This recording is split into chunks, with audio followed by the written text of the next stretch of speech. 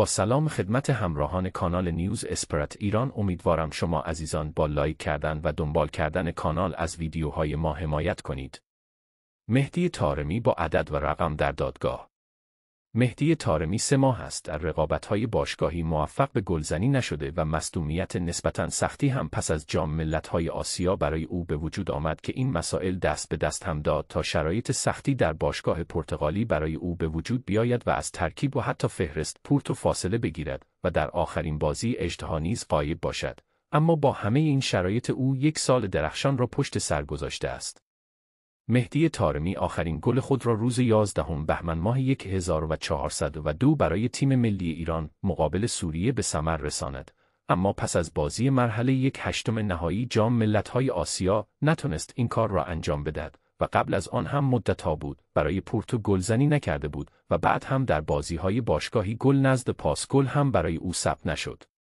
ستاره ایرانی پورتو در شرایطی دوباره به تهران و اردوی تیم ملی آمده که پس از حضور تعویزی در مسابقه برگشت مرحله یک هشتم نهایی لیگ قهرمانان اروپا مقابل آرسنال در آخرین بازی باشگاهی در سال 1402 مقابل ویزلا در لیگ برتر پرتغال به دلیل مسائل فنی در فهرست اجتها قرار نگرفت که این اتفاق در تمام دوران فعالیت حرفه او در فوتبال بی سابقه بود ولی این شرایط هم کاری نمی کند تا سال درخشان او فراموش شود.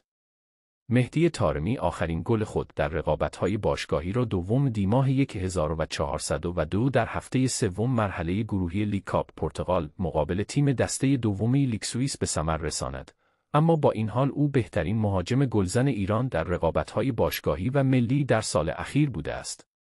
ستاره ایرانی پورتو در فصل از 24 تا 2023 توانسته در 16 حضور ثابت یا تعویزی در لیگ برتر پرتغال سه گل به ثمر رساند و دو پاس گل بدهد. در جام حذفی یک پاس گل داشته باشد و در دو مسابقه لیگ کاپ هم یک گل بزند. اما در لیگ قهرمانان اروپا نیز آمار خوبی با ثبت دو گل و دو پاس گل در هفت بازی داشته است.